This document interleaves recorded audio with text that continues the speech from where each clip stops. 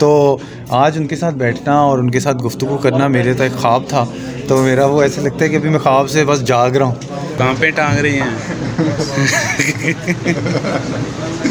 ये जो अभी आज का इंटरव्यू हरी भाई का आपने रिकॉर्ड किया है ये कब अपलोड होगा और इसकी टाइमिंग बता दें कौन से चैनल पर होगा? ये हैं मादिल इस्लाम साहब, इन्होंने हमसे वादा किया तकरीबन पिछले दो महीने से वादा किया और बिरयानी, अम्मी के हाथों की बनी हुई बिरयानी खिलानी है आप लोगों को। और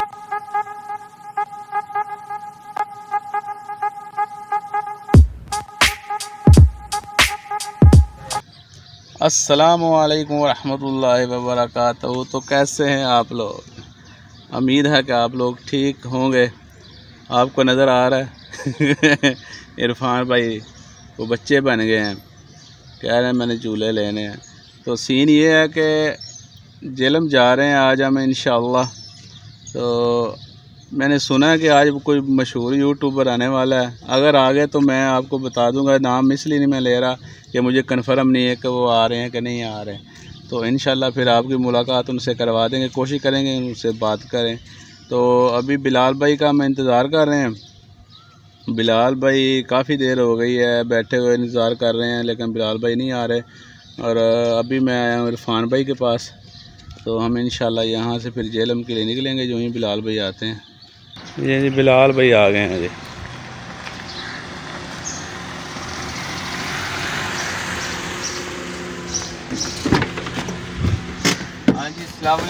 वालेकुम अस्सलाम। हाँ जी। यही तेन लभते फिर तुम लेट हो गए हो सन। अभी हम जेलम के लिए निकले जी। इनशाला। पहली बार जा रहे हो ना? हाँ जी पहली दफ़ा जा रहे हैं।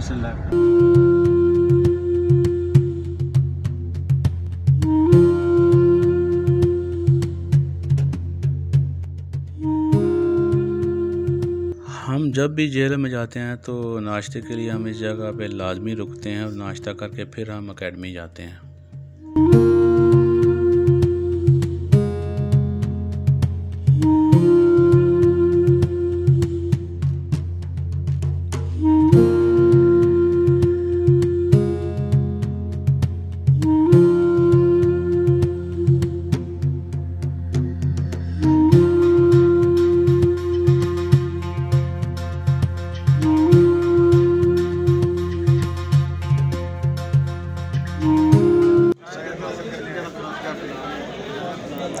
तैमूर भाई से मेरी गपशप भी हुई और मुझे सबसे जो अच्छी चीज़ उनकी लगी उनका इखलाक।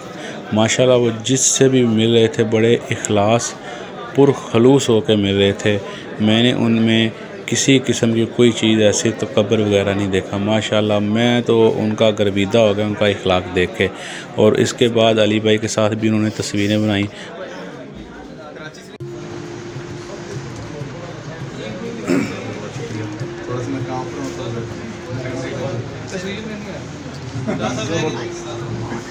सिंगल भी बनवाओ ना यार इधर आके ये आज मुझे दोनों में सबके साथ बनवाना है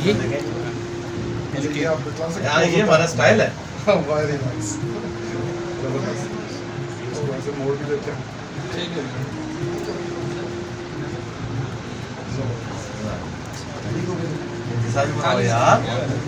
कहाँ पे टांग रही हैं?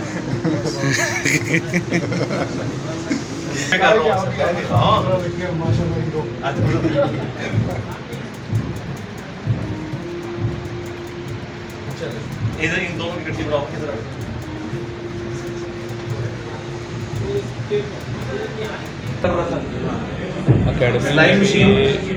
फ़ोटो सेशन होता वो गया।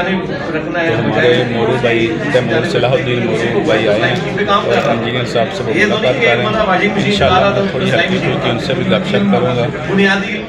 तो अभी वो तो वाली भाई से गपशप लगा रहे हैं बाद में भी लगाएँगे गपशप।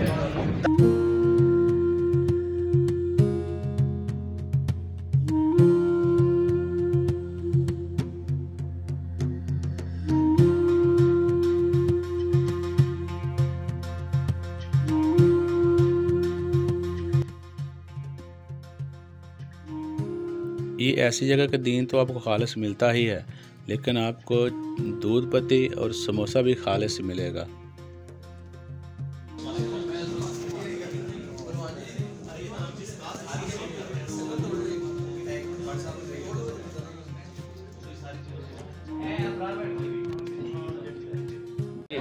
ये हैं मादिल इस्लाम साहब, इन्होंने हमसे वादा किया तकरीबन पिछले दो महीने से वादा किया और बिरयानी अम्मी के हाथों की बनी हुई बिरयानी खिलानी है आप लोगों को। और आज भी इन्होंने इस तारीख को आगे कर दिया है।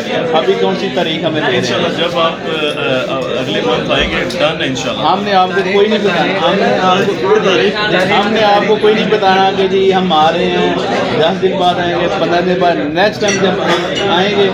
इंशाल्लाह। है प्लीज़ प्लीज़ प्लीज़ इमाद भाई आपने भागना नहीं है। बिरयानी से भागना नहीं है। ठीक होगा डन हो गया Done हो गया। जी ये वीडियो बन गई आप। ये जी तैयारी हो रही है इन अली भाई का इंटरव्यू होने जा रहा है। जो हमारे तैमूर सलाहुद्दीन मोरू भाई हैं वो यहाँ इंटरव्यू करेंगे। और सेटअप लगाया जा रहा है। ये देखें यार, ये काफ़ी महँगा सेटअप है। हमारा तो दो लाइटें होती हैं, एक कैमरा होता है स्टैंड होता है। वो भी स्टैंड छः सौ रुपये वाला स्टैंड और यहाँ पे देखें माशाल्लाह, पूरी तैयारी से हैं ये मोरू भाई।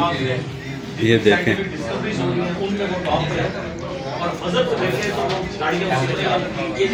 माशाल्लाह, आज बहुत ही ज़्यादा रौनक है ये यहाँ पे।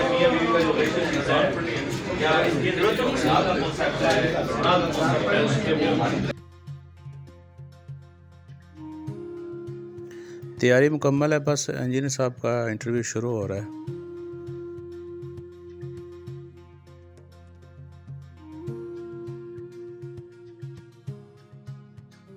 और सर पहला सवाल यही है कि आपने मौलाना मुफ्ती ऐसा कोई नाम नहीं अपने शुरू में जोड़ा, आपने इंजीनियर से शुरू किया।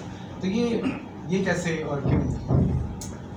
हौला वला कुव्वता इल्ला बिल्लाह अल्लाहुम्मा सल्ली अला मुहम्मद व अला आलि मुहम्मद देखिए जी, मौलाना या मुफ्ती तो तब मैं लगाता है जब मैं ऑफिशियली ये लगाने का हकदार होता हूँ। पाकिस्तान के अंदर जो लोग ट्रेडिशनल तरीके से, दरस निज़ामी के ज़रिए दीन के काम को आगे लेके चल रहे होते हैं या मदरसे की डिग्री हासिल करते हैं तो वो प्रॉपरली इस लफ्ज़ को यूज़ करते हैं।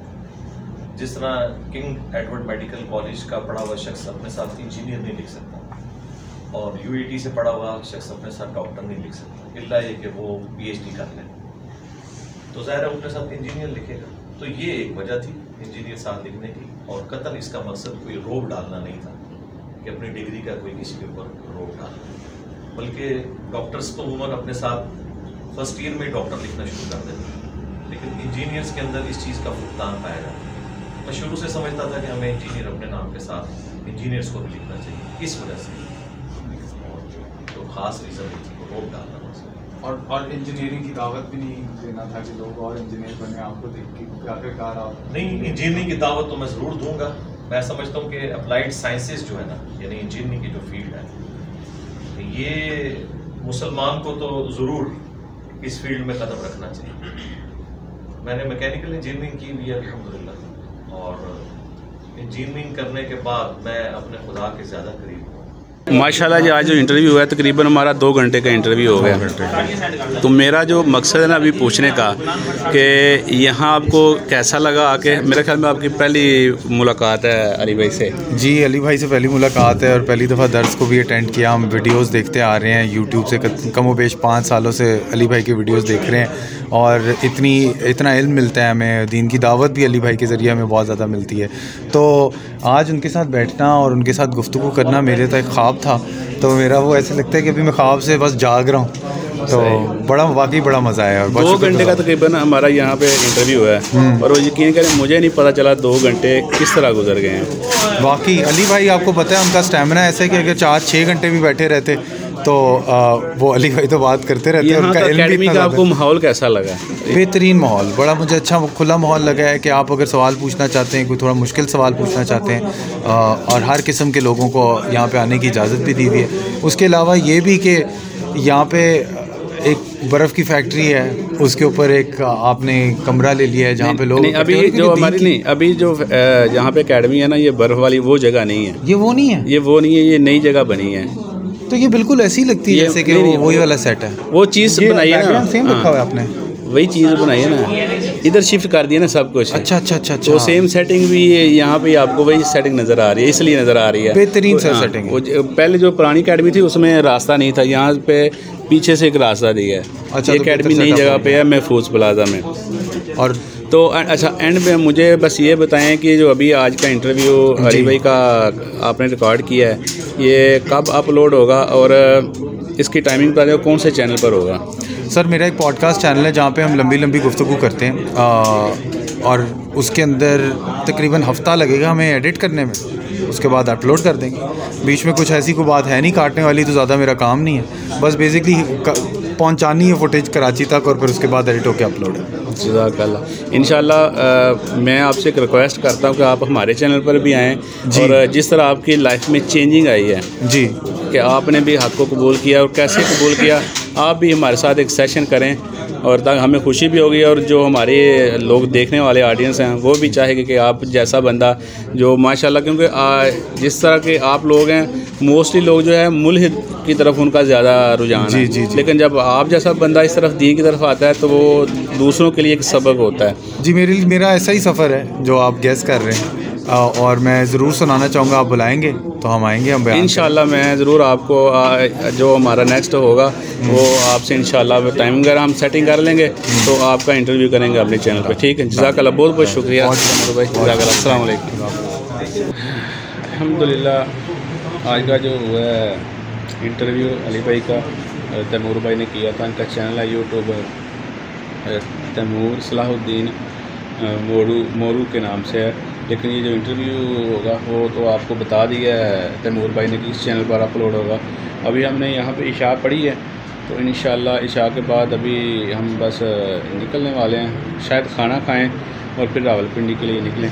तो उम्मीद करता हूँ कि आपको आज की वीडियो पसंद आई होगी, क्योंकि आज स्पेशल मेहमान थे इधर और बड़ा मज़ा आया। और इंटरव्यू जब आप सुनेंगे तो वाकई मज़ा आ जाएगा। इतना ज़बरदस्त इंटरव्यू हुआ है, इतना ज़बरदस्त आप देखेंगे तो आप कहेंगे कि वाकई किसी ने इंटरव्यू किया। बहुत ज़बरदस्त इंटरव्यू है। और ये तैमूर भाई ने बताया भी है कि ये कब अपलोड होगा। तो आ, मुझे अपनी दुआ में याद रखें। इन फिर अगले व्लॉग में मिलते हैं। जजाकल्ला असल वरहमल वर्का